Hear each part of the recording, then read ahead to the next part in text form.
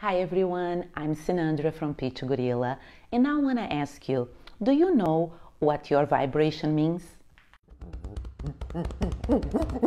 everything you think, everything you feel, how you behave along with your beliefs, your internal dialogue, what you watch, the books you read, the music you listen to, all contributes to your vibration.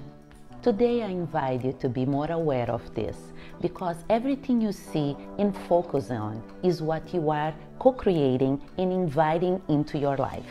If you perceive your life through the eyes of infinity possibilities, great opportunities, gratitude, that's what eventually you will manifest. And if you predominantly see life as lacking, no love, no options, that is what will be reflected. I invite you to create new habits and change your thoughts because we do not vibrate what we want, but rather what we are. For a free mindset consultation, contact me at peachgorilla.com, click a new client form, and let's start working and getting you to the best version of you.